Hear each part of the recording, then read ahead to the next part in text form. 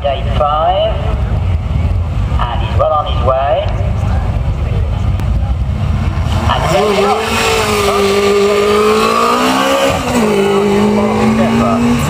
Very well developed Mini, got BMW cylinder heads on the original.